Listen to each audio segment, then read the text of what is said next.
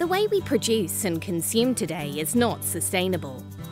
Constant extraction, production, and consumption lead to mountains of waste and consequently hurt our planet.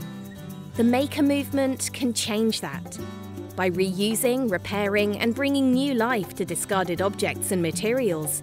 Passionate individuals engaged in do it yourself activities can help foster resource efficiency, cut waste, and reduce our environmental footprint.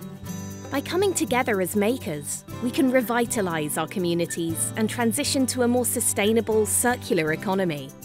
Pop Machina is a Horizon 2020 project that aims to demonstrate the potential of the maker movement and collaborative production for the EU circular economy. By supporting the development of maker communities in seven pilot cities across Europe, Pop Machina brings people together and empowers them to make their cities more resilient in the face of constant and rapid change.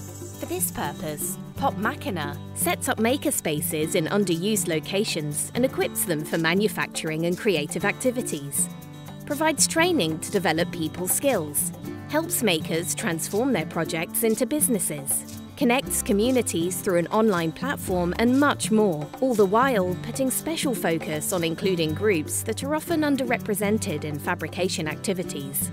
Want to learn more or get involved? Visit our website or follow us on social media. Pop Machina, a joint action of 23 partners from eight European countries, part of Horizon 2020 Research and Innovation Programme of the European Union.